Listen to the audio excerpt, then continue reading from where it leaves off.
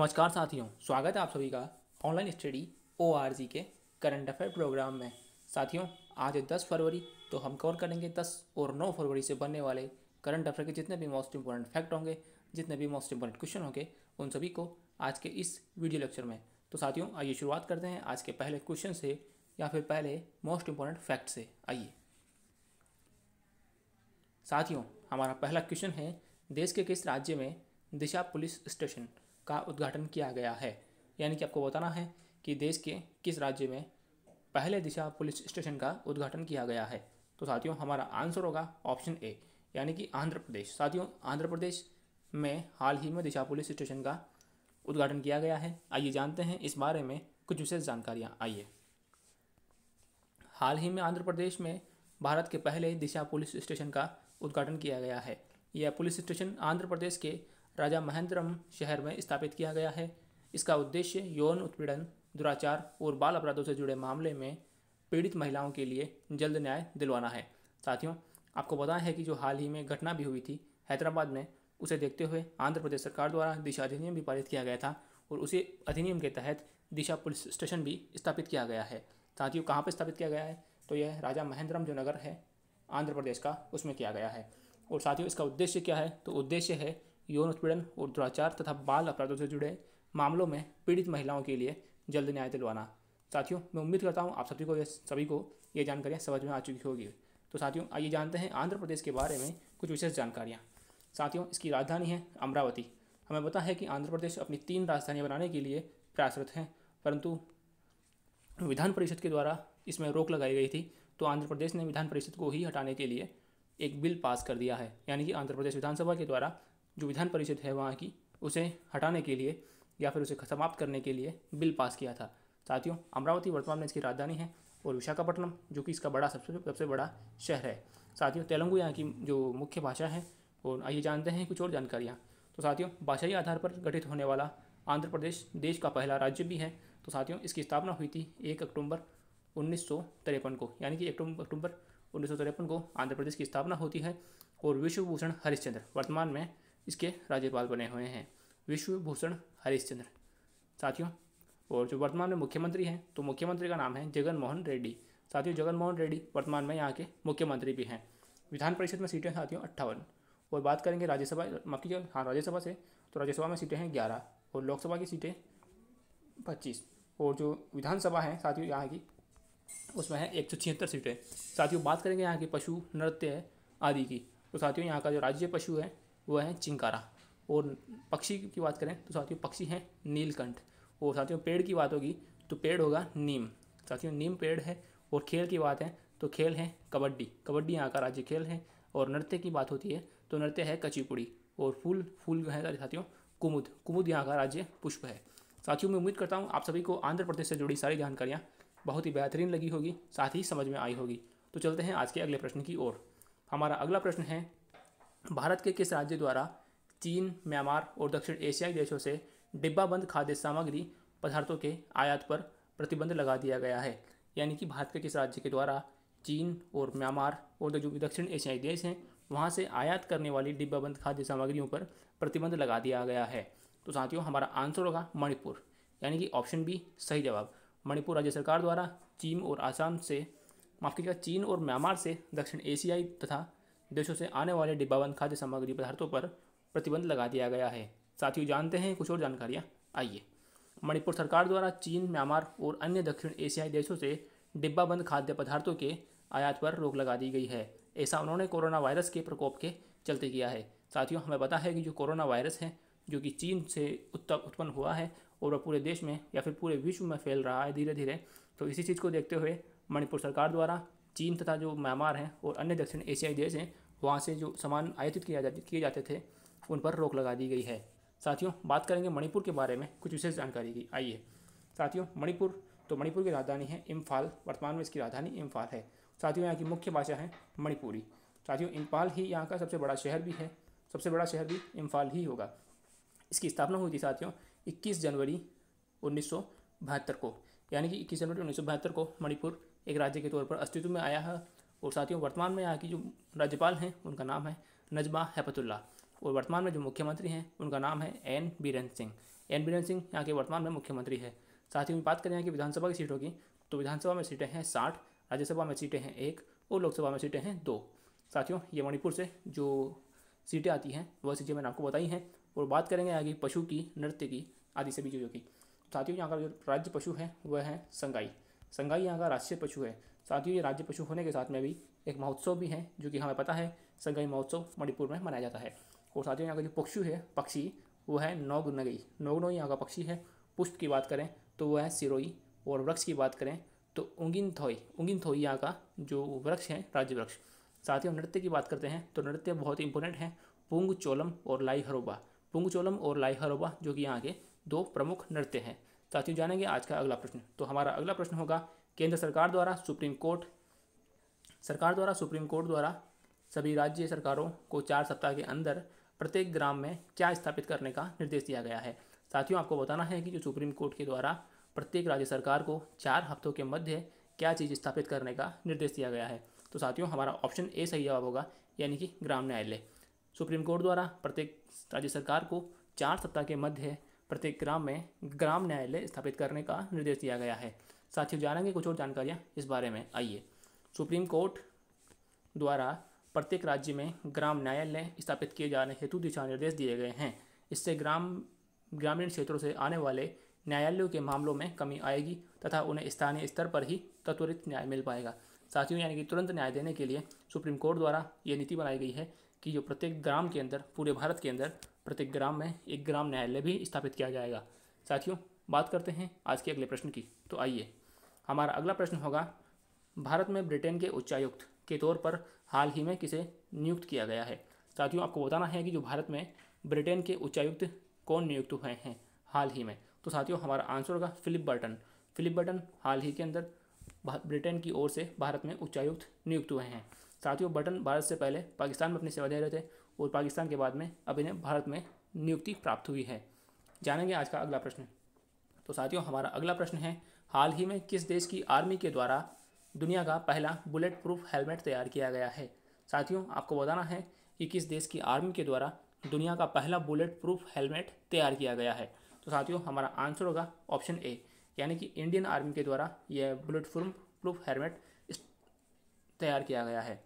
साथियों, जानेंगे कुछ और जानकारियाँ इस बारे में। आइए यह हेलमेट भारतीय सेना के मेजर अनूप मिश्रा, साथियों, मेजर अनूप मिश्रा के द्वारा विकसित किया गया है। इस हेलमेट पर 10 मीटर की दूरी से ए के फोर्टी सेवन से चलाई गई गोली का भी असर नहीं होता। हेलमेट का निर्माण भारतीय सेना की परियोजना अभेद प्रोजेक्ट के तहत किया गया है। साथियों, जो भारतीय सेना की जो परियोजना है, अभेद अभेद प्रोजेक्ट, इसके तहत जो कि अनूप मिश्रा हैं, मेजर, इनके द्वारा इस हेलमेट का निर्माण किया गया है। साथियों, मैं उम्मीद करता हूँ आप सभी को यह प्रश्न समझ में आ चुका होगा। आइए जानते हैं इंडियन आर्मी के बारे में कुछ विशेष जानकारियाँ। तो साथियों, इसकी स्थापना हुई थी एक अप्रैल उन्नीस सौ, आपके जगह अट्ठारह को, यानी कि एक अप्रैल अट्ठारह को इसकी स्थापना होती है। और साथियों, हमें पता है कि जो आर्मी दिवस होता है, वह हमेशा मनाया जाता है पंद्रह जनवरी को।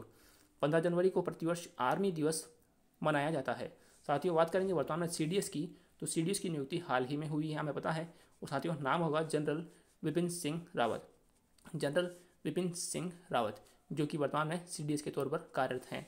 साथियों, बात करेंगे वाइस सीडीएस की तो वाइस सीडीएस के पद पद पर नियुक्त हैं शरद चंद्र जी। जनरल शरद चंद्र जी जो कि हैं, वर्तमान में वाइस सीडीएस के पद पर कार्यरत हैं। साथियों, मैं उम्मीद करता हूँ आप सभी को यह जानकारियाँ समझ में आई होगी। साथ ही आज के सेशन की पीडीएफ प्राप्त करने के लिए आप डिस्क्रिप्शन में दिए गए लिंक के द्वारा भी पीडीएफ प्राप्त कर सकते हैं। साथ ही हमारे बेल आइकन को भी दबाइए तथा हमारे टेलीग्राम चैनल को भी ज्वाइन कर लीजिए, जिससे कि आप सभी को आने वाली पी तथा वीडियोस की नोटिफिकेशन सबसे पहले मिलती रहें। साथियों टेलीग्राम चैनल का लिंक भी डिस्क्रिप्शन में दिया गया है। आइए जानते हैं आज का अगला प्रश्न। तो हमारा अगला प्रश्न होगा India international seafood show के बाईसवें संस्करण का आयोजन किस राज्य में किया गया है? यानी कि आपको आपको बताना है, हाल ही में इंडिया इंटरनेशनल सी फ़ूड का शो जो बाई शो के बाईसवें संस्करण का आयोजन किस राज्य में किया गया है? साथियों, हमारा आंसर होगा ऑप्शन ए यानी कि केरल के अंदर इसका आयोजन किया गया है। आइए जानते हैं कुछ और जानकारियाँ इस बारे में। इंडिया इंटरनेशनल सी फ़ूड के बाईसवें संस्करण का आयोजन हाल ही में केरल के कोची में किया गया। यह विश्व का सबसे पुराने और सबसे बड़े सी फ़ूड शो में से एक है। इसके इक्कीसवें संस्करण का आयोजन जनवरी 2018 में गोवा में किया गया था। साथियों, यानी 2018 के बाद में यह 2020 के अंदर फिर से आयोजित किया जा रहा है। और कहाँ पे किया जा रहा है? तो केरल के जो कोची शहर में किया जा रहा है। साथियों, दो हज़ार का कहाँ पे हुआ? तो वह हुआ था गोवा के अंदर। फिर से नाम बताता हूँ इंडिया इंटरनेशनल सी फ़ूड साथियों, मैं उम्मीद करता हूँ आप सभी को यह प्रश्न समझ में आ चुका होगा। तो आइए बात करते हैं केरल के बारे में कुछ विशेष जानकारियों की। तो साथियों, केरल की जो राजधानी है, वह है तिरुवनंतपुरम। तिरुवनंतपुरम के सांसद कौन है? तो तिरुवनंतपुरम के सांसद है शशि थरूर, जो कि कांग्रेस पार्टी के बहुत बड़े नेता हैं, बड़े नेता हैं। साथ ही इसकी स्थापना हुई थी एक नवंबर उन्नीस सौ छप्पन को, यानी केरल राज्य के तो अस्तित्व के तौर पर अस्तित्व में एक नवंबर उन्नीस सौ छप्पन को आया था। साथियों, बात करेंगे वर्तमान में जिलों की। तो वर्तमान में ज़िले हैं चौदह। और केरल में मलयालम तथा अंग्रेज़ी, जो कि यहाँ की प्रमुख भाषाएँ हैं। साथियों, बात करते हैं आगे मुख्यमंत्री की। तो मुख्यमंत्री हैं पी विजयराजन, यानी कि पिनराई विजयराजन, जो कि यहाँ के मुख्यमंत्री हैं। और बात करेंगे यहाँ के राज्यपाल की। तो राज्यपाल हैं आरिफ मोहम्मद खान। आरिफ मोहम्मद खान यहाँ के राज्यपाल हैं। साथियों, बात करेंगे यहाँ के पक्षी और नृत्य, पेड़, पुष्प, त्योहारों की। तो साथियों, यहाँ का जो पक्षी है वह है हॉर्नबिल। और पेड़ कौन है? तो पेड़ियल, पेड़ है नारियल। यानी कि राज्य वृक्ष का दर्जा किसे प्राप्त है? तो नारियल को। और पक्षी का दर्जा किसे प्राप्त है? तो हॉर्नबिल को। फूल की बात करेंगे तो साथियों, राज्य फूल का दर्जा प्राप्त है गोल्डन शावर को। और पशु की बात करते हैं तो वह उसमें होगा हाथी। साथियों, हाथी यहाँ का राज्य पशु है। और नृत्य की बात करते हैं साथियों, नृत्य बहुत ही इंपॉर्टेंट है, जो कि एग्ज़ाम में हमेशा पूछे जाते हैं। तो साथियों, यहाँ पे जो मोहनाट्टम और कथकली, मोहनाट्टम और कथकली दोनों ही केरल के प्रमुख नृत्य हैं, शास्त्रीय नृत्य हैं। और साथियों, यहाँ का जो त्यौहार है, त्यौहार भी मौन, मेन होता है ओणम। ओणम भी एक तरह से एग्ज़ाम में हमेशा पूछा जाता है कि ओणम किस राज्य राज्य का राज्य पर्व है या फिर त्यौहार है? तो साथियों, हमें आंसर करना होगा, तब माफ़ कीजिएगा, केरल। साथियों, जानेंगे आज का अगला प्रश्न। तो हमारा अगला प्रश्न है, हाल ही में किस राज्य सरकार द्वारा जन सेवक नामक योजना का शुभारंभ किया गया है? तो आपको बताना है कि किस राज्य सरकार के द्वारा जन सेवक नामक योजना का शुभारंभ किया गया है। साथियों, हमारा आंसर होगा ऑप्शन ए, यानी कि कर्नाटका गवर्नमेंट के द्वारा जन सेवक नामक जो योजना है, इसको स्टार्ट किया गया है। साथ ही जानेंगे इस बारे में कुछ विशेष जानकारी। आइए, इस योजना के तहत नागरिकों को राशन कार्ड, वरिष्ठ पहचान पत्र तथा स्वास्थ्य कार्ड जैसी विभिन्न सरकारी योजनाओं की होम डिलीवरी की सुविधा प्रदान की जाएगी। साथियों, मैं उम्मीद करता हूँ आप सभी को यह प्रश्न समझ में आ चुका होगा। आइए बात करते हैं कर्नाटक के बारे में कुछ विशेष जानकारी की। साथियों, इसकी राजधानी है बेंगलुरु। बेंगलुरु, कर्नाटक की राजधानी है। साथियों ये भारत का इलेक्ट्रॉनिक नगर भी कहा जाता है। क्योंकि साथियों, ये बहुत डेवलप है और यहाँ पर जो सारी बड़ी बड़ी आईटी कंपनियाँ हैं इलेक्ट्रॉनिक क्षेत्र से काम करने वाली कंपनियाँ हैं, उसके हेडक्वार्टर भी बेंगलुरु में ही है। और साथियों, आपको पता है कि बेंगलुरु हाल ही में टॉम टॉम ट्रैफ़िक इंडेक्स के अंदर देश का सबसे बड़ा ट्रैफ़िक वाला राज्य बना है। आपके लिए शहर बना है। देश का ही नहीं यह विश्व का भी सबसे बड़ा ट्रैफ़िक वाला शहर है। यानी कि पूरे विश्व में ट्रैफ़िक के मामले में बेंगलुरु सबसे नंबर वन पर आता है। और साथियों इसकी स्थापना होती है कर्नाटक की स्थापना एक नवंबर उन्नीस सौ छप्पन को। यानी कि कर्नाटक की स्थापना एक नवंबर उन्नीस सौ छप्पन को हुई थी। वर्तमान में गवर्नर कौन है? तो गवर्नर है वाजू भाई वाला, जो कि यहाँ के गवर्नर हैं। और साथ ही मुख्यमंत्री की बात करें तो B S Yediyurappa. B S Yediyurappa, जो कि वर्तमान में यहाँ के मुख्यमंत्री हैं और भारतीय जनता पार्टी से ये आते हैं। साथ ही विधान परिषद की बात करते हैं तो विधान परिषद में सीटें हैं पचहत्तर। और विधानसभा की बात करें तो दो सौ पच्चीस। दो सौ पच्चीस, पचहत्तर और बारह सीटें हैं जो कि राज्यसभा में हैं। और अट्ठाईस सीटें हैं जो कि लोकसभा में हैं। साथियों, मैं उम्मीद करूँगा आप सभी को यह प्रश्न समझ में आ चुका होगा। आइए जानते हैं आज के अगले प्रश्न की को। साथियों, हमारा अगला प्रश्न है, हाल ही में किस भारतीय क्रिकेटर को जिंदल साउथ वेस्ट स्टील के ब्रांड एम्बेसडर के तौर पर नियुक्ति प्राप्त हुई है? साथियों, हमारा आंसर होगा ऋषभ पंत। यानी कि ऑप्शन बी, सही जवाब। ऋषभ पंत को जिंदल साउथ वेस्ट स्टील का ब्रांड एम्बेसडर बनाया गया है। साथियों, जानते हैं कुछ और जानकारियाँ? आइए। जिंदल साउथ वेस्ट स्टील ने भारतीय क्रिकेटर ऋषभ पंत को अपना ब्रांड एम्बेसडर नियुक्त किया गया है। जे एस डब्ल्यू के इस्पात उत्पादकों को बढ़ावा देने में ऋषभ पंत अपनी मदद करेंगे, अपनी भागीदारी निभाएँगे। साथियों, बात करेंगे जिंदल साउथ वेस्ट स्टील से जुड़ी कुछ जानकारियों की तो इसका मुख्यालय कहाँ पर है? तो मुख्यालय है मुंबई में। साथियों, मुंबई, जो कि महाराष्ट्र की राजधानी है। और साथियों, बात करते हैं इसके संस्थापक की तो संस्थापक कौन है? सचिन जिंदल। साथियों, सज्जन जिंदल, जो कि इसके संस्थापक भी हैं। आइए जानते हैं आज का अगला प्रश्न। तो हमारा अगला प्रश्न है, हाल ही में जेफ बैनर ने अपने पद से इस्तीफा दे दिया। वह किस कंपनी के सीईओ e थे? यानी कि चीफ एग्जीक्यूटिव ऑफिसर थे। तो वह किस कंपनी के थे? तो साथियों, हमारा आंसर होगा Link Caden Corp. Link Caden Corp के जो सीईओ e थे, जेफ बैनर, जिन्होंने हाल ही में अपने पद से इस्तीफा दे दिया है। साथियों, देखेंगे, इस पद पर नई नियुक्ति किसे प्राप्त होती है? जब भी होगी, हम आपको क्वेश्चन के द्वारा कवर करवा देंगे। आइए जानते हैं आज का अगला प्रश्न। तो हमारा अगला प्रश्न है, हाल ही में अमरीकी, अमेरिका द्वारा आतंकवाद रोधी बड़े अभियान के तहत अलकायदा के संस्थापक नेता को मार गिराया है। उनका नाम क्या है? तो आपको बताना है कि जो अलकायदा के नए, माफ़ कीजिएगा, नेता है, जिन्हें हाल ही में अमेरिकी अमेरिकी आर्मी के द्वारा मार गिराया गया है, गिराया गया है। आतंकवाद रोधी एक अभियान के तहत। तो साथियों, उनका नाम होगा कासिम अल रिमी। तो ऑप्शन बी, सही जवाब। कासिम अल रिमी को अमरीकी आर्मी के द्वारा आतंकवाद रोधी बड़े अभियान के तहत अलकायदा के संस्थापक को मार गिराया गया है। साथियों, जानेंगे कुछ और जानकारियाँ इस बारे में। आइए। यमन में आतंकवाद रोधी एक बड़े अभियान के तहत अमरीकी बलों ने अलकायदा के संस्थापक व नेता का, नेता कासिम अल रिमी को मार गिराया है। मीडिया रिपोर्ट के अनुसार अलकायदा नेता कासिम अल रिमी को अरब देश में आतंकी कमाल संभालने की ज़िम्मेदारी दे रखी थी। उसे आतंकी सरगना आयमान अल जवाहरी के बाद अलकायदा में दूसरा स्थान प्राप्त था। साथियों, यानी कि जो अलकायदा में इनकी रैंक कौन सी थी? तो रैंक थी टू। और साथियों, ये कहाँ पर अपना कार्य करते थे? तो इन्हें अरब क्षेत्र के अंदर आतंक फैलाने की ज़िम्मेदारी प्राप्त हुई थी। साथियों, मैं उम्मीद करता हूँ आप सभी को यह सेशन समझ में आ चुका होगा। आइए जानते हैं आज का अगला प्रश्न। तो हमारा अगला प्रश्न है, हाल ही में डिफेंस एक्सपो में खगन तक नामक स्वदेशी मिसाइल, नामक स्वदेशी मिसाइल का प्रदर्शन किया गया। इस मिसाइल का निर्माण किस फर्म के द्वारा किया गया है? साथियों, आपको बताना है कि जो डिफेंस एक्सपो लखनऊ में आयोजित किया जा रहा है, उसके अंदर एक खगन तक नामक एक जो स्वदेशी मिसाइल है, उसका प्रदर्शन किया गया। तो साथियों, इस मिसाइल को किसके द्वारा निर्मित किया गया है या फिर किस फर्म के द्वारा तैयार किया गया है? तो साथियों, हमारा आंसर होगा J S R Dynamics. J S R Dynamics के द्वारा, जो कि भारत की निजी फर्म है, इसके द्वारा इसे तैयार किया गया है। साथियों, जानेंगे कुछ और जानकारियाँ इस बारे में। आइए। भारत की एक निजी firm J S R Dynamics ने डिफेंस एक्सपो में खगन तक नामक स्वदेशी मिसाइल को प्रदर्शित किया है। यह मिसाइल हवा से ज़मीन में हमला कर सकती है। इस मिसाइल की मारक क्षमता 180 किलोमीटर है तथा इस मिसाइल का उपयोग एक गाइडेड के तौर पर किया जा सकता है। इससे अपने लक्ष्य को पहचानने के लिए आर्टिफिशियल इंटेलिजेंस का भी उपयोग किया गया है। साथ ही इस मिसाइल के द्वारा मेक इन इंडिया प्रोग्राम को भी बढ़ावा मिला है तथा विदेशी रक्षा उपकरण निर्माताओं पर भारत की निर्भरता भी कम होगी। साथियों, मैं उम्मीद करता हूँ आप सभी को यह प्रश्न समझ में आ चुका होगा।